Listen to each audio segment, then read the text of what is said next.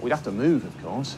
Get a little house with a garden, swing, and a white picket fence. Why didn't I take a test first? No way. You'd find out before me. You're gonna be really upset if I'm not pregnant. No, I wouldn't. We just we keep trying. Look, look. I thought I'd never be a dad. Even when you said we could try, I still couldn't picture it. And now you might actually be carrying our child. Yes, might, Robert, might. Capital M. Yeah, but if you are, it's going to change our lives completely.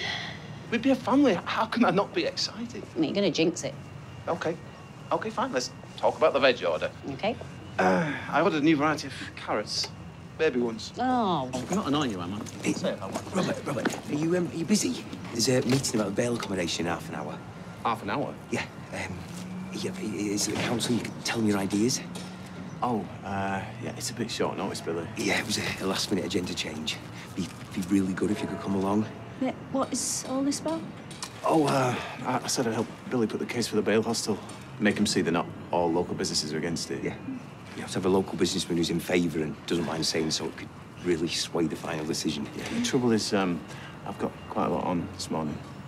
Uh, hey, no, you go to the meeting. You go to the meeting, I'll sort the veg out, and then we can do our thing later. Yeah? Mm-hmm. Oh, okay. Don't start without me. Thanks for showing